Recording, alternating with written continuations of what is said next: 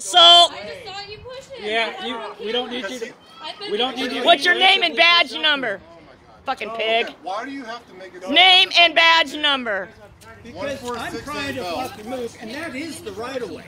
The right of way comes up, and you know how, how I know? Learn the law. Because I've spent 20 years in the utility department. I know where the right of way is. That pole is set one foot off from their property Video, line. you dipshit. All right. Video You guys doesn't have a lie. I, was Kick recording rocks. when you came up here. I've been Walk of shame. since she came up here.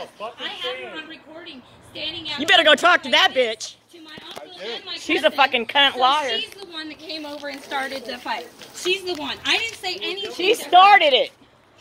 She started it. She came over and started screaming. Has this been an ongoing issue No, the parking? actually, Haven't seen that cunt ever before in my life. 10 years. They moved in here about a year and a half ago, and about eight months ago, they hung these signs saying nobody can park there, claiming it's their property. It's I know not. damn well that property line is right here.